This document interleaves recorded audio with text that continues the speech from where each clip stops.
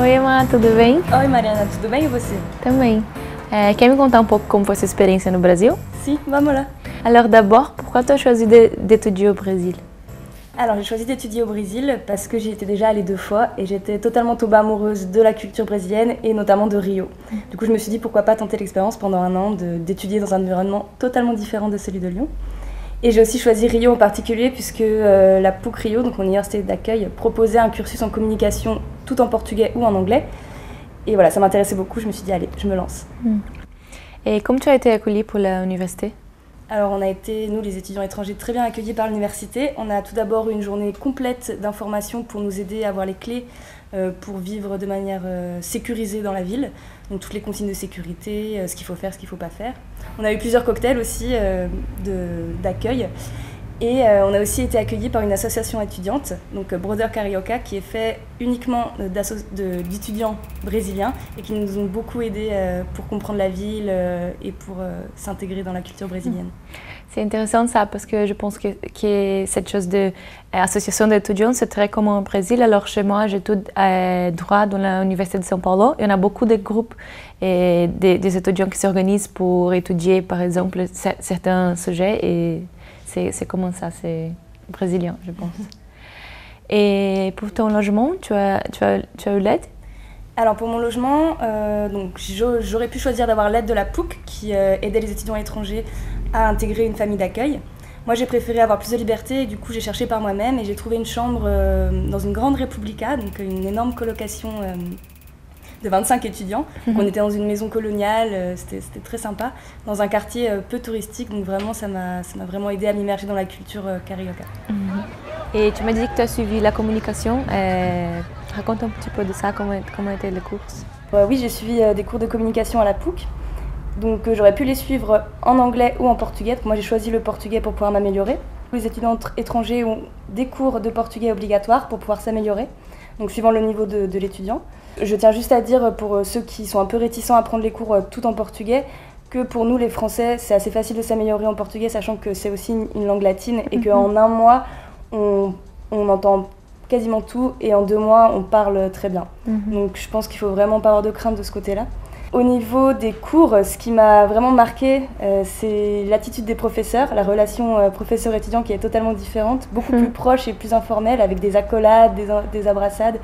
Donc euh, ça, ça, a- ça a été vraiment différent et, et c'était assez sympa. Euh, c'est drôle ça parce que le Brésil c'est très grand, il y a beaucoup de différences euh, entre le entre les villes. À São Paulo c'est pas comme ça d'avoir le le. Alors nous sommes nous sommes pas nous sommes pas très professionnels comme ici en France la relation, mais pas aussi très proche comme je pense que c'est Rio. Ouais, bah, Rio, c'est très informel aussi. Oui.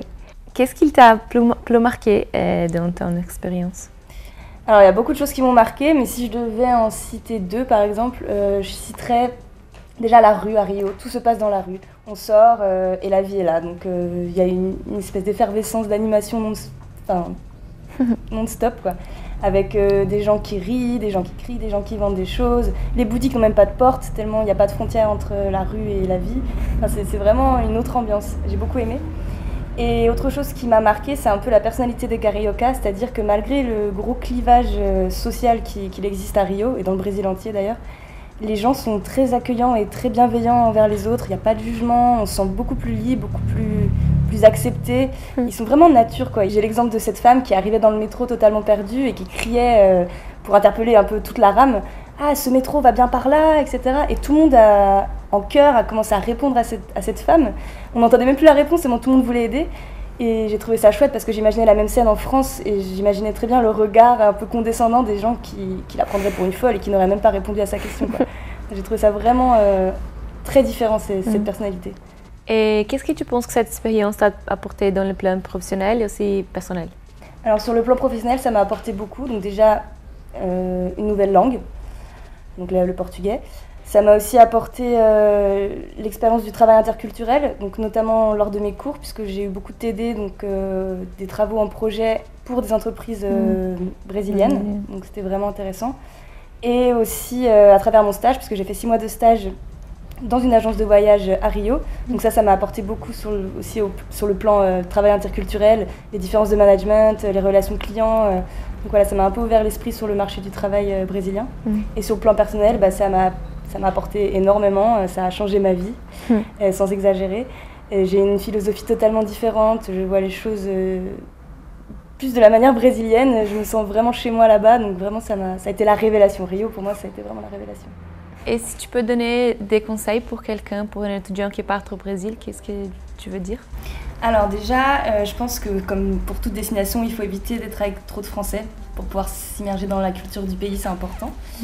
Ensuite, pour euh, le logement, je pense qu'il faut faire très attention euh, à la localisation de- du logement, parce que quand on ne connaît pas la ville, on peut vite tomber dans des endroits pas très sûrs. Parce que Rio, c'est pas fait comme les villes françaises, c'est-à-dire que ça alterne entre favela, quartier riche, favela, quartier riche, et sans connaître, euh, eh ben, on peut tomber vraiment dans des quartiers pas, pas très sûrs. Euh, je pense aussi qu'il ne faut pas penser que Rio est une ville peu chère, parce que c'est pas le cas, c'est assez onéreux. Il faut compter, je pense, entre 800 et 1000 euros par mois pour pouvoir vivre convenablement à Rio. Donc euh, notamment, il n'y a pas toutes les réductions euh, étudiants qu'on a ici, il n'y a pas d'abonnement pour les transports, tout ça, on paye à chaque fois plein pot à chaque voyage, donc euh, les dépenses augmentent assez vite. Et enfin, je pense qu'il faut essayer de s'affranchir un maximum de ce qu'on peut voir dans les médias, de tous les clichés qu'on peut entendre. Il y a des consignes à- de sécurité à suivre, oui, mais si on, si on suit les conseils que nous donne notre université d'accueil, on peut très bien profiter de la ville en toute sécurité. Et si tu peux résumer ton expérience en cinq mots? Alors déjà, euh, révélation, parce que Rio, ça a été une révélation pour moi, comme je l'ai dit précédemment, ça a changé ma vie.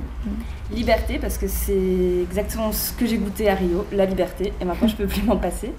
Avenir, parce que je me vois déjà y retourner, et c'est en projet d'ailleurs de m'y installer. Rencontre, parce que comme tout échange universitaire, on fait des milliers de rencontres, et c'est chouette. Et enfin, saudade. Ah, que legal. Ai, que bom que você gostou do Brasil. Espero que você gostou da França também. Ai, sim. E é Que isso. legal.